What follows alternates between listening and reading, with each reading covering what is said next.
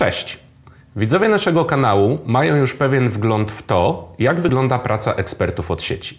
Dlatego dzisiaj chcę rozszerzyć nieco pole zainteresowań i pozostając w temacie, powiedzieć Wam o czymś innym.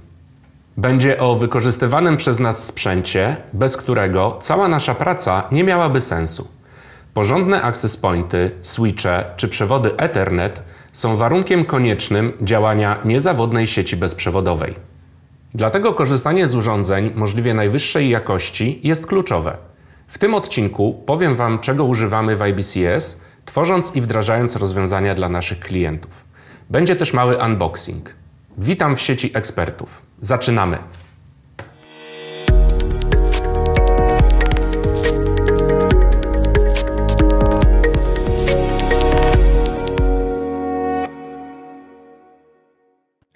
Od samego początku istnienia IBCS używamy najlepszych na rynku rozwiązań sprzętowych, które gwarantują naszym klientom niezawodne działanie sieci, a nam zapewniają po prostu spokój. Aby przekonać się do stosowania urządzeń konkretnej firmy, trzeba mieć do nich zaufanie, a to buduje się przez lata. To zwykle norma, że nowy access point działa wzorowo bezpośrednio po wyjęciu z pudełka. Ale poprawne funkcjonowanie sprzętu po kilku latach pracy w trudnych warunkach jest cechą tylko najlepszych produktów. Dlatego przy projektowaniu i wdrażaniu naszych sieci korzystamy z urządzeń firmy Extreme Networks, która ma niesamowity bagaż doświadczenia z tworzeniem tego typu sprzętu, bo ich produkty są rozwijane od ponad 20 lat.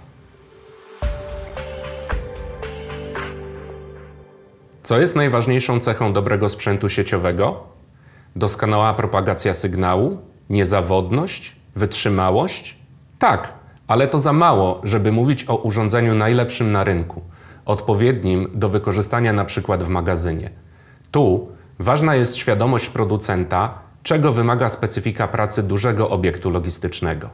Extreme Networks jest spadkobiercą największych potęg produkujących wysokiej jakości urządzenia sieciowe. Wszystko zaczęło się ponad 20 lat temu od firmy Symbol, która była jednym z prekursorów wprowadzenia sieci bezprzewodowych na świecie. Jednocześnie symbol produkował urządzenia i rozwiązania niezbędne w pracy magazynów, takie jak skanery, drukarki czy terminale. Fakt, że producent urządzeń sieciowych był świadom potrzeb związanych z funkcjonowaniem przyrządów w obiekcie logistycznym, bo po prostu je produkował, jest kluczowy w tej historii. Za chwilę powiem Wam dlaczego. Później jakościowe rozwiązania sprzętowe firmy Symbol przejęła Motorola, która w swojej ofercie też miała całą tę magazynową otoczkę. Od Motorola kupiła to wszystko Zebra, która również oferowała dokładnie taką samą gamę produktów dedykowanych logistyce. Obecnie ten know-how i technologię posiada Extreme Networks. Firma do tej pory kultywuje tradycję tworzenia wysokiej jakości rozwiązań, rozpoczętą dwie dekady temu. Zarówno Symbol, jak i Motorola, a także Zebra kładły duży nacisk na to, żeby sieć była niezawodna we współpracy z urządzeniami do obsługi magazynów, bo w tamtych czasach to właśnie one były korem biznesu tych firm. Extreme Networks kontynuuje ten trend i to jest dla nas bardzo ważne, bo gwarantuje klientom IBCS, że sieć w ich magazynie nie tylko będzie sprawna i godna zaufania, ale także idealnie dostosowana pod względem funkcjonalności. Podam Wam przykład. Jednym z najważniejszych parametrów bezprzewodowej sieci w magazynie, który nie ma żadnego znaczenia np. przy sieciach biurowych, jest roaming. Chodzi o to, że pracownik magazynu, przemieszczając się po jego powierzchni, musi mieć zagwarantowany nieprzerwany dostęp do sieci. Możliwe jest to dzięki płynnemu przełączaniu się pomiędzy punktami dostępowymi. Dodatkową trudnością jest fakt, że pracownicy obiektów logistycznych Często przemieszczają się po nich wózkami, więc przełączanie musi być nie tylko płynne, ale również błyskawiczne. Przemierzając obiekt o długości kilkuset metrów, czytnik pracownika magazynu łączy się z kilkoma access pointami, a on nawet tego nie zauważa. Tego typu rozwiązania stanowią podstawę funkcjonowania sieci w obiektach logistycznych, bo pracownik magazynu, którego skaner czy inne urządzenie traciłyby zasięg, nie mógłby wykonywać swojej pracy wystarczająco efektywnie. Takie technologie rozwijały właśnie wspomniane dzisiaj firmy, a Extreme Networks doprowadził je do perfekcji.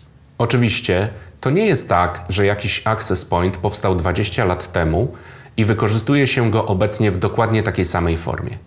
Chodzi raczej o to, że ścieżka rozwoju tego typu urządzeń, która rozpoczęła się przed dwiema dekadami, była prowadzona z uwzględnieniem potrzeb dużych obiektów, takich jak magazyny.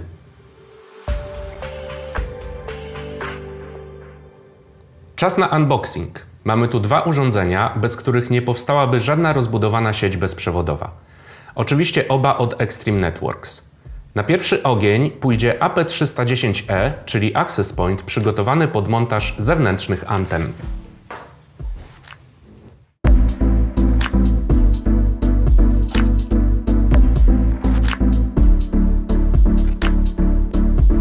To sprzęt, który najczęściej wykorzystujemy przy tworzeniu sieci bezprzewodowych w magazynach, a decydują o tym dwa czynniki.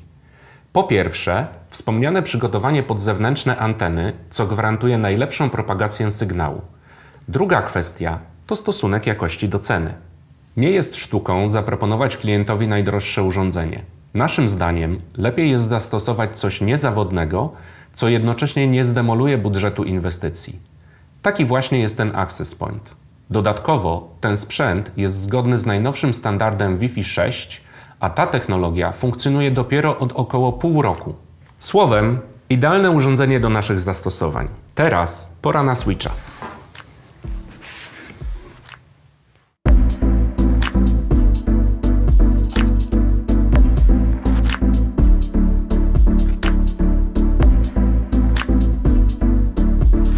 To jest X440G2, czyli switch, który ma wiele ważnych cech, ale ja powiem o jednej, moim zdaniem najistotniejszej. Power over Ethernet, czyli zasilanie przez kabel internetowy. Działa to tak, że obok danych kablem płynie również prąd, którym zasilać można access pointy. Co to daje? Przede wszystkim łatwość obsługi. Załóżmy, że jest konieczność wyłączenia zasilania w access poincie. Żeby zrobić to przy standardowym sprzęcie, trzeba brać drabinę, wspiąć się i tam odłączyć wtyczkę. Z rozwiązaniem PoE można odpiąć zasilanie odpowiedniego portu na switchu, by wyłączyć access point wiszący gdzieś wysoko nad posadzką. Duże uproszczenie pracy. Przełączniki X440G2 występują w wersjach 12, 24 i 48 portowych. Do zastosowań sieci bezprzewodowej zawsze korzystamy z wariantu oferującego PoE, dzięki czemu wszystkie te porty mogą zasilać punkty dostępu. Dodam, że całe zarządzanie przełącznikiem oraz wszystkimi access pointami może być prowadzone z każdego punktu sieci.